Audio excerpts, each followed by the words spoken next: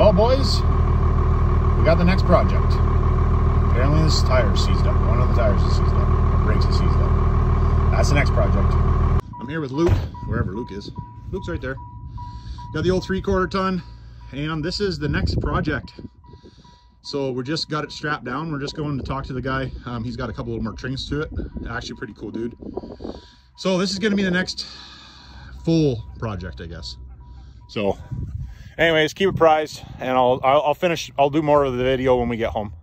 All right, we'll catch you in a bit. Hey guys, so just got back to the shop with this.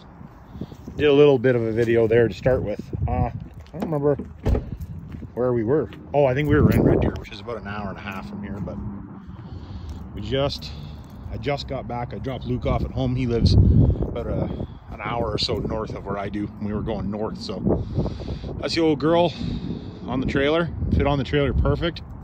It's actually a little, it's actually lighter than I thought it would be, but so just give her a quick little walk around for you guys that are interested.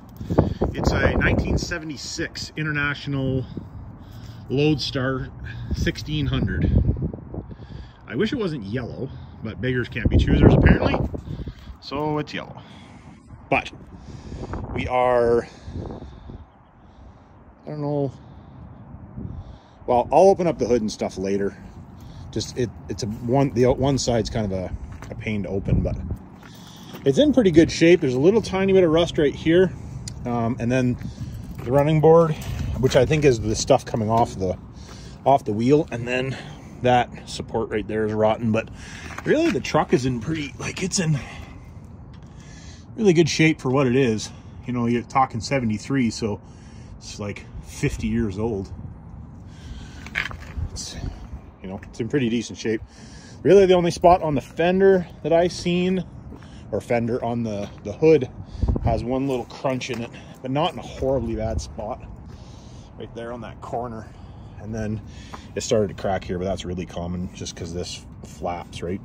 But something we can fix really easy, and the grill is actually in decent shape. A couple little dents in it, but it is a 50-year-old truck, so. But she is pre in pretty good shape for what it is. You don't usually see them in this good of shape. Like, like even the bottom of the doors, like it's in it's in good shape. I'm glad that I waited and bought this uh, versus some of the other ones that I've looked at. So the object of this truck is going to be,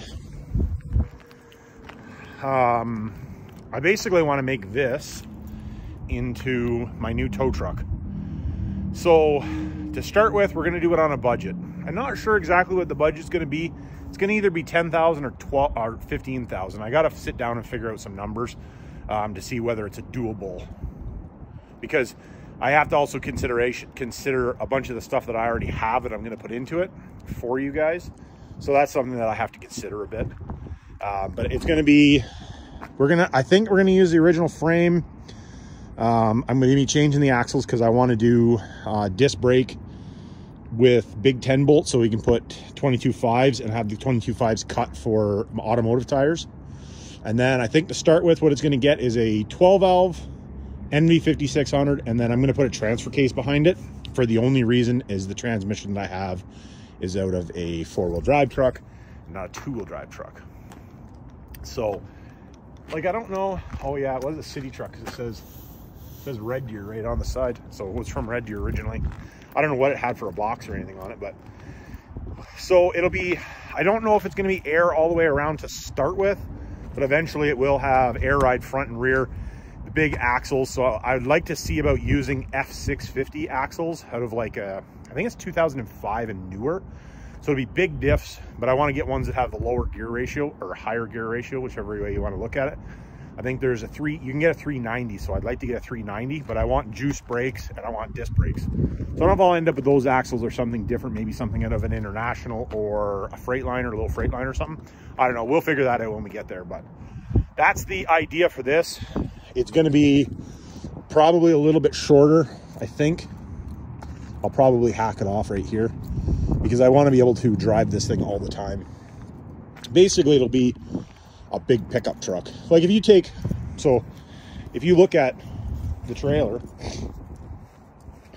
how big it is on the trailer, right? And then you look at that, obviously, not in the same frame, but I bet you it's awful close to the same length. So I'd like to make it a little bit shorter, but it should be a cool project. It'll be slammed. Well, not slammed, slammed, but I'd like the, I think anyway, I would like this about, oh, get away a little bit, probably like maybe six inches. So this will be down here to give you an idea. Actually, I'll throw a picture of a couple that I've seen on the old interwebs and see what you guys think. But that's, uh, they're gonna be, this is gonna be the next project. So when we get the shorty done, originally I was gonna tear this truck apart and build the other one of these that I have. But the problem is with it, is that I can't pull uh, as much weight as I want. That's the problem. I want to, I need to be able to pull, uh, I'd like to be able to pull a, a gooseneck or an enclosed uh, like race car trailer type of idea. But when you take that, you need a one ton and a newer one ton at that. And I don't really want to buy a new truck because I don't like new trucks. So is what it is. So that's why I'm going to buy this and probably spend just as much money as a new truck. But we'll see. To start with, um, like I said, I want to do it on a budget. It'll be, I think I'm leaning towards probably $15,000, including the price of the truck because the engine transmission transfer case, well, it doesn't need the transfer case, but I'll use in the transfer case. The front and the rear axle, the new rims and tires, um, a rad, an intercooler, and I'm not going to really do much to the body. Um, this to start with, other than I don't really like the yellow, but it is yellow, and I have a new windshield now, so windshield's no good, but Actually, I think I'll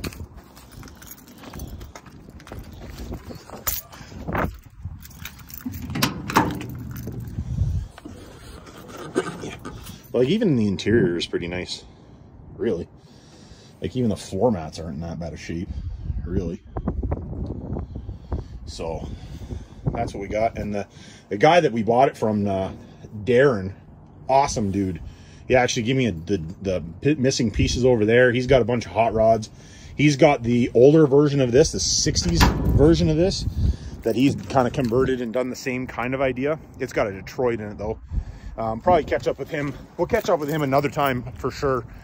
And I'll see if he'll let me do a video on his truck because it's a pretty cool little truck too. So, but anyways, that's all there is on this one. So like I said, this is going to be, this is going to be the next project. So for you guys that are interested in the next project of building this with a 12 valve in it, um, as soon as we get the shorty done, we will be starting to work on this. So in the time it takes me to get the shorty done, I will be looking for axles for this, probably buying the rims and tires, um, and getting the rad and the intercooler, getting the stuff that I know I need uh, gathered up so that we can do this in short in a short fashion. Because I don't think that it'll take that long to build this truck being that we're not not going to the extent the extent like I did on the short box. So this should be a pretty quick, pretty quick build.